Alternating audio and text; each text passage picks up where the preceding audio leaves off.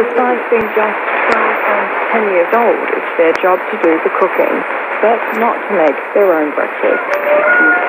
They're brewing herbal medicine for their grandmother, a carefully concocted blend of traditional Chinese medicine prescribed for help since she hurt her hip.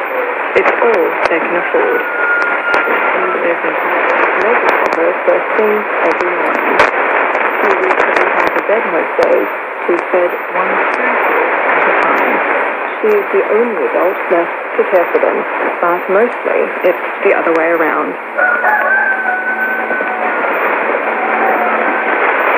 Only once they've seen their grandfather do they start to think about their own breakfast.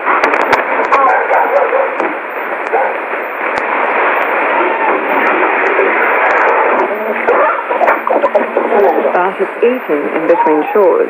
If they don't look after the home, nobody will.